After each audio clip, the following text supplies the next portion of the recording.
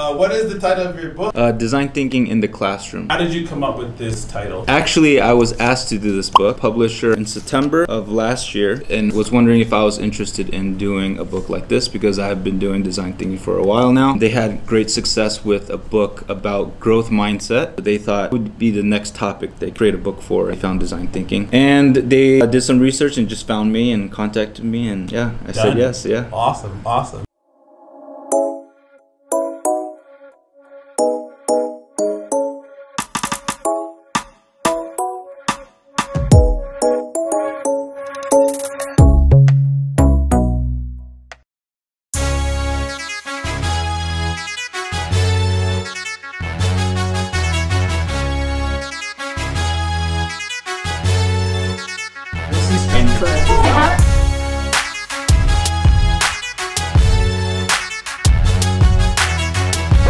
What's up, everyone? My name is Gary, and welcome to my channel. I have a special guest today, and his name is Mr.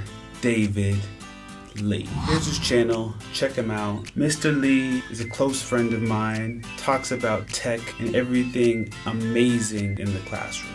At Singapore American School, the school that I'm currently teaching at, David is one of our special ed tech team coaches. He doesn't specifically work with me, but he is one of those people who is constantly looking and trying to work with everyone who is interested in technology.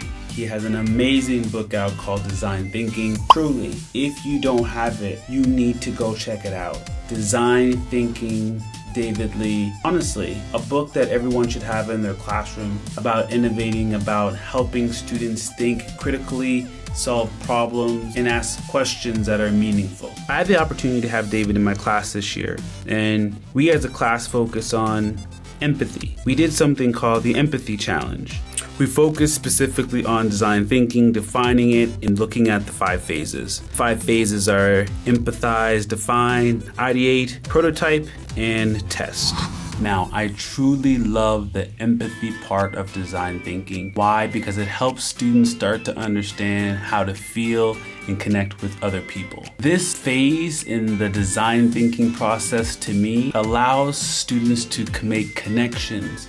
Allows students to build powerful things that truly help the individual. This part of the process allows students to take specific actions and decide are they going to solve or improve something. Now in this lesson we stayed in the empathy phase for a while. David looked closely at students questioning, helped them talk about interviewing, and we specifically asked why. Why, why, why, and why. We talked to students about listening and not judging. Now, some of us, not all of us, made it to the next phase define, which means students start to develop a problem statement that helps them really truly understand what it is they are trying to do. David did an amazing job explaining to students what this statement looks like by using creative sentence starters and prompts that were placed on the board. When we hit the ideate phase, Mr. Lee talked specifically about quantity, not quality. He wanted students to continue to generate ideas that had their brains